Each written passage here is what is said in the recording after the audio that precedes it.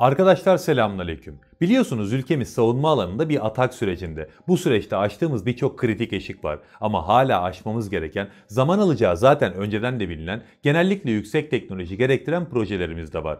Bunlar genelde büyük bütçeli ve başka ülkelerden tedariği kolay olmayan işler. O yüzden de çok önemliler. Mesela savaş uçağı tedariği en bilinen mesele haline geldiği için burada kolayca örnek olarak kullanılabilir.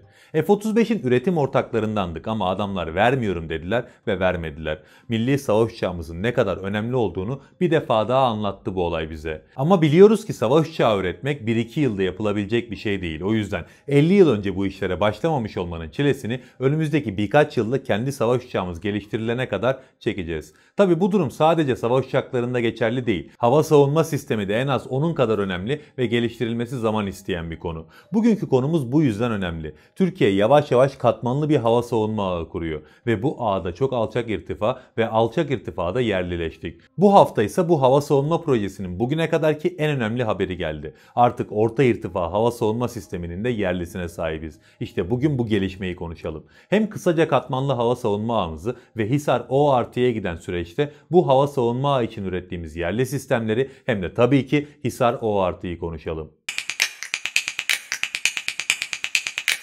Bu hafta Savunma Sanayi Başkanımız İsmail Demir yeni bir müjde duyurdu. Heyecan vericiydi çünkü Milli Hava Savunma Füze Sistemimiz Hisar O artı envantere giriş öncesi son kabul atışında yüksek irtifadaki yüksek hızlı hedefi imha etti. Bu konuda attığı tweet'i Hisar O artı artık bütün unsurlarıyla tam kapasite görevinin başında şanlı ordumuza hayırlı olsun şeklinde bitirdi. Şanlı ordumuza hayırlı olsun. İşte bu yüzden önemliydi bu haber. Artık ülkemizin yani evimizin bir kat daha çatısı oldu. Artık daha korunaklıyız. Hisar o artı bize büyük katkı sağlayacak. Çünkü katmanlı bir hava savunma ağı oluşturuyoruz onun ortasında. Yani merkezinde bu sistem var. Katmanlı hava savunma ağı nedir derseniz aslında çok basit. Hava savunma zor bir iştir. Çünkü birçok tehdit unsuru var. Uçaklar, uçaklardan atılan bombalar, akıllı füzeler, seyir füzeleri, balistik füzeler aslında saymakla bitmez bu tehditler. Tabi tehdit bu kadar büyük ve çeşitli olunca bunlara karşı koymak da o kadar zorlaşıyor. Bu zorluğu aşmanın en mantıklı yolu da işte bahsettiğim katmanlı ağ oluşturmak. Bu ağda farklı türlerde ve irtifalarda etkili hava savunma sistemleri var.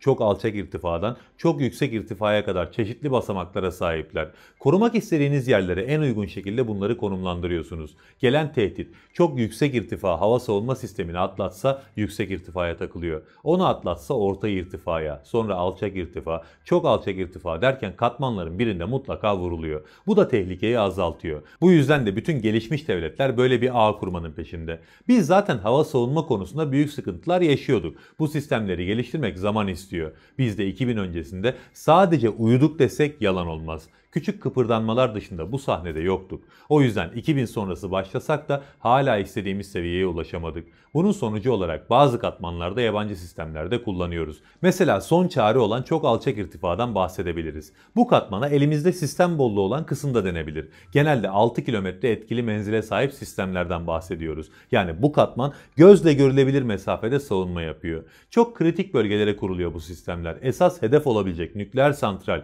ya da askeri karargah gibi yerlere konuşlandırılıyorlar. Envanterimizde çok kısa menzilli hava savunma sistemi bolluğu var. İsveç yapımı L-70 Orlikon, Alman üretimi MK-20, Amerikan üretimi M44 2A1 gibi sistemlere sahibiz. Tabii beni esas ilgilendiren bu katmandaki yerli sistem. Çünkü bu sistem çok alçak irtifada bağımsızlık anlamına geliyor benim için. Bu bağımsızlığın adı da Korkut. Korkut ordumuzun alçak irtifa hava savunma top sistemi ihtiyacı için üretildi. Proje 2016'da Aselsan'a verildi. Aselsan aynı yıl içerisinde ilk teslimatı yaptı. 4 kilometre menzile sahip bir sistem bu. Suriye ve Libya'da aktif olarak kullanılıyor şu an. Yani sahada tecrübe de edindi. Şimdiye kadar 20'den fazlası Türk Silahlı Kuvvetlerine teslim edildi. Korkut bir komuta kontrol aracı ve iki silah sistem aracından oluşuyor. Komuta kontrol aracında hedeflerin tespiti yapılıyor ve silah sistemlerine atış emri veriliyor. Korkut'un bir üst katmanında yani ikinci katmanda alçak irtifada hava savunma yapılıyor. Menzil genellikle 6 ile 15 kilometre arasında. Tabi buradaki sistemlerin radar ağı, Güdüm ve navigasyon sistemleri gibi alt sistemleri çok alçak irtifadakilere göre çok daha gelişmiş. Bu katmanda Amerika'dan Redeye ve Stinger, Rusya'dan SA-7 gibi yabancı sistemler çok aktif kullanılıyor. Ama buradaki yerlilik oranımız yüksek. O yüzden bunların yerini yerli sistemler aldı bile. Mesela Atılgan ve Zıpkın. İkisi de yabancı muadillerinden çok daha kapsamlı ve gelişmiş sistemler. Bunlar kaideye monteli tasarlandılar. Atılgan zırhlı paletli araca monte edilmiş bir sistem. Stinger füzesini kullanıyor. Stabilizasyon sistemi olduğu için araç hareket halindeyken de atış yapılabiliyor. Zıpkın da onun sabit tesislerde kullanılmak için geliştirilmiş versiyonu. Her ikisi de bilgisayar denetimli. Her türlü şartta hedefi takip edip füze gönderebiliyorlar. Etkili menzilleri de 8 kilometre. Tabi bu katmanın yıldızı Hisar ailesinin alçak irtifa versiyonu. Yani Hisar A. 15 kilometre menzili var. Bu katmanda elimizi en çok güçlendiren sistem bu çünkü alçak irtifadaki yerli yabancı bütün sistemlerden üstün. Hisar A sahada aktif kullanılıyor ve kendisini kanıtlamış bir sistem. Bugün konumuz olan Hisar O artı da zaten Hisar A'nın abisi.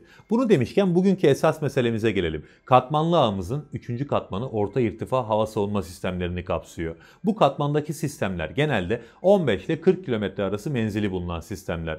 Burası bizim en zayıf olduğumuz yerlerden biriydi aslında. Çünkü orta irtifada elimizde sadece bir yabancı sistem var. MiM-23 Hawk. MiM-23 Amerikan üretimi bir sistem. 1960'tan beri kullanılıyor. Elimizde bolca var bildiğim kadarıyla 175 adet. 35 kilometre etkili menzile sahip ama çağa hitap etmeyen bir sistem bu. Ya da en azından gelişmiş savunma sanayisine sahip bizim gibi bir ülkeyi kesmeyecek bir sistem diyelim. İşte bu katmandaki liderliği Hisar-O devralıyor şimdi. Bu sistem savaş uçakları, insansız hava araçları ya da havadan karaya füzeler gibi neredeyse her tür hedefe karşı kullanılabiliyor. Yüksek infilaklı ve parçacık etkili harp başlığı kullanıyor. Savaş uçaklarını 60 kilometre mesafeye kadar takip edebiliyor ve 60 hedefi aynı anda izleyebiliyor. 360 derece etkinliğe sahip ve 9 hedefe aynı anda angajman ve ateşleme yapabiliyor. Etkili menzili 25 kilometre. Aselsan'ın geliştirdiği 3 boyutlu kalkan radarını kullanıyor. Hisar o zaten daha önce Suriye sınırına konuşlandırıldı diye haberler gelmişti. Tabi resmi bilgi değildi bu. Şimdi son kabul testini de başarıyla geçtiğini öğrendik. Yani artık resmen Hisar O artı envanterimizde diyebiliriz. Yine başka bir deyişle orta irtifa hava savunma katmanında artık bağımsız bir devlet olduğumuzu kolayca söyleyebiliriz.